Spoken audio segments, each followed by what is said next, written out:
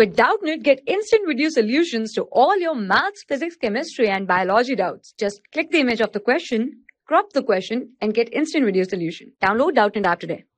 Coefficient of kinetic friction and coefficient of static friction between two blocks is mu k and mu s respectively in general so if we plot a graph between friction and applied force, can see this is limiting friction and this here is kinetic friction when there is relative motion. So corresponding to let's say limiting friction, we can say here this limiting friction we can say is given as mu s n and this constant kinetic friction is given as mu k n.